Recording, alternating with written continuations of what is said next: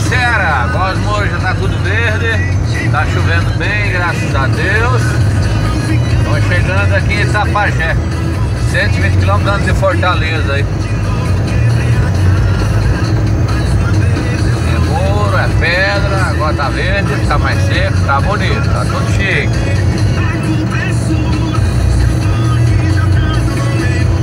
Aqui agora estamos 20 para 6, já tá escurecendo. Cuidadozinha pequena aqui, casinha à beira da estrada